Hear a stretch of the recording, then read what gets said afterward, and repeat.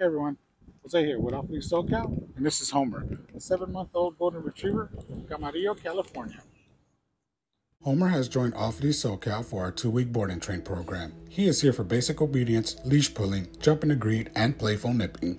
He is known to counter surf and to take food from kids when he can reach it. He likes to jump on almost every person passing by when in a walk, and he is easily distracted. Over the next 14 days, Homer will be given the structure that is needed and be set up for success with the hopes of becoming a well-behaved pup.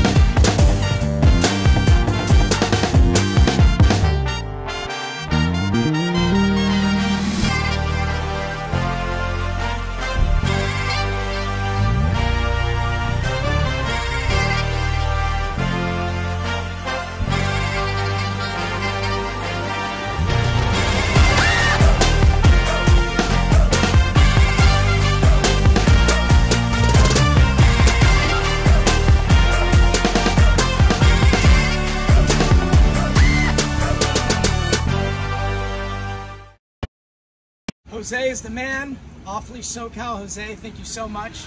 Homer has been trained for two weeks now. His recall is excellent. Uh, he listens to all the commands. Never before did he listen. He was totally out of control before this. Highly recommend Jose and Off Leash SoCal.